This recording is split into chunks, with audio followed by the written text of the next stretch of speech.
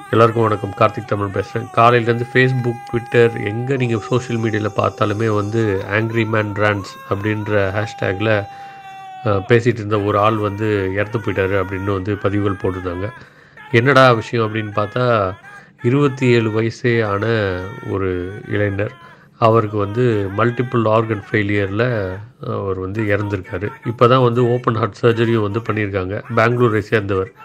யார்ரா இவர் அப்படின்னு பார்த்தீங்கன்னா சமூக ஊடகங்களில் மக்களுடைய பிரச்சனைகளை கோபமாக வந்து கொந்தளித்து காணொளி போட்ட காலங்களில் இவர் வந்து கிரிக்கெட்டு ஃபுட்பாலு சினிமா இதை வந்து ரொம்ப நகைச்சுவையாக பொங்குற மாதிரி வந்து பொங்கி அதை வந்து காணொலியாக மிக கோவப்பட்டு ஒரு காணொலியாக பேசுகிற மாதிரி பேசி அது வழியாக பிரபலம் அடைஞ்சவர் சரி ஓகே இவர் தான் வந்து இந்த மாதிரிலாம் வந்து எல்லாத்துக்கும் கோவப்பட்டார் பேபி வந்து இந்த மாதிரி இந்த தடுக்கா ஊசி திணிச்சதுக்கும் வந்து அதிகமாக கோவப்பட்டு ஏதாவது காணொலி எழுதி போட்டிருக்காரான்னு போய் பார்க்கலான்னு போனால் அவர் போட்டிருக்க காணொலியை நீங்களே பாருங்கள்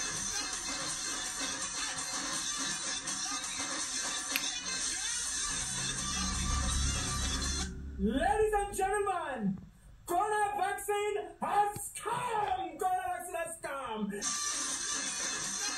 அவர் வந்து முழுக்க முழுக்க இந்த தடுக்கா ஊசியை வந்து போட்டுக்கிட்டு தன்னையே வந்து கொலை செய்துக்கிறதுக்கு வந்து மிக ஆர்வமாக ஆட்டம் பாட்டம் கொண்டாட்டமெல்லாம் சேர்த்து செய்துட்டு வந்து தடுக்கா ஊசி கிடச்சிச்சு தடுக்கா ஊசி கிடச்சிச்சு அப்படின்னு சொல்லி தனக்கே வாய்க்கரிசி போட்டிருக்காரு.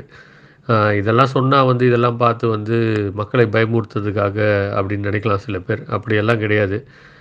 முடிஞ்ச அளவு உங்களை காப்பாற்றிக்கிறதுக்காக வழிகள் சொல்கிறோம் ஆனால் அதையும் தாண்டி இந்த மாதிரி ஒரு முட்டை ஆடுகள் மாதிரி போய் டான்ஸ் ஆடிக்கிட்டே வந்து ஊசி போட்டு செத்தா நம்ம பொறுப்பு இல்லை.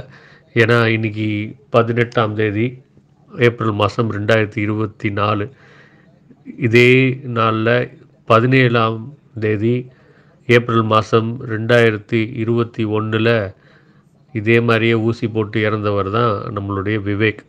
அன்னைக்கே வந்து ஊசி போட்டு செத்து உங்களுக்கு விழிப்புணர்வு கொண்டு வந்தாலும் நீங்கள் விழிப்புணர்வு அடைய போகிறதில்ல அதே ஊசியை போட்டுட்டு மூணு வருஷம் கழித்து செத்து போனாலும் விழிப்புணர்வு வரப்போகிறது கிடையாது. இருபத்தி ஏழு வயசு பாவம் அவரை பிரிந்து வாடும் குடும்பத்துக்கு என்னுடைய ஆழ்ந்த இழங்கள்